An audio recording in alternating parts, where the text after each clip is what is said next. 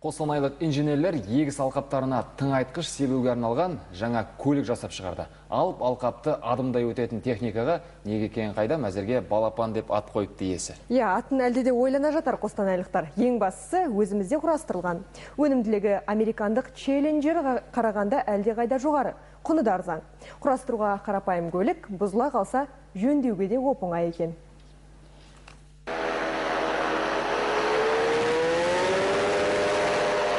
Шаруалар алқаптарды дәрілеуге қазір негізінен дельтаплан пайдаланады. Алайда оның әуеге көтерілуі ауа райына байланысты. Шығыны көп, қамтитын аумағы аз. Тыңайтқыш себуге арналған тағы бір техника американдық челленджер көлігі. Мұның құны 350 мың доллар, ал балапан ақштың ақшасымен 60 мың ғана.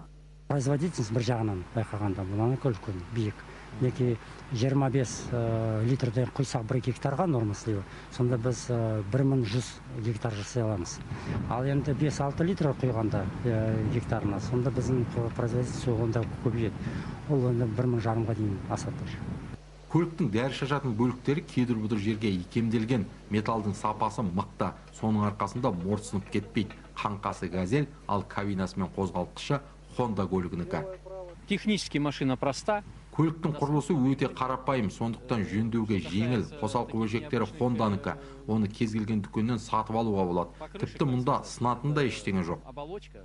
Ең ғажабы балапанның екі жарым тонна салмағы табанының астына сезілмейді. Бір шаршы сантиметр жерге бір келі ғана салмақ түседі. Яғни көлік адамның аяғын басса да еш зақымдамайды. Сондықтан ол жүріп өткен жердің егіні тапталмайды. Санаулы сағаттардан соң қайта бас көтеріп көктеп жетіле береді. Дәуренбек әбдібек ермек мұхамедияров қазақстан ұлттық арнасы қостанай.